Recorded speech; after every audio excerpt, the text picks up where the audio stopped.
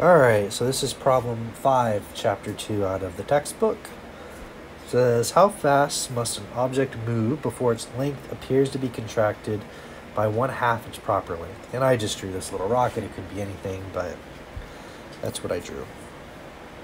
Now, the equation we'll be using is L equals L naught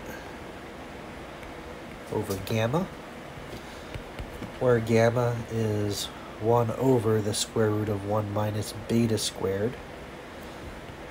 And beta, so these are two separate things, is v over c. So just the notation. So really, L is equal to L naught, the square root of 1 minus, I'm going to call it beta, squared. But in the question, it mentions that the length appears to be one half its proper length. In other words, what this is saying here is L equals L naught over 2, one half the proper length. L naught is your proper length. So this is really L naught over 2 equals L naught square root of 1 minus beta squared.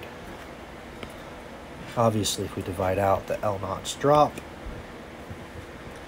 And if you square both sides, you will get 1 fourth equals 1 minus beta squared. Beta squared is equal to 1 minus a fourth, which is just 3 fourths. Okay. And beta squared is v squared over c squared, like we defined it earlier, is equal to 3 fourths. Then v squared is 3 over 4 c squared. And squaring both sides, you get the square root of 3 over 4 times c.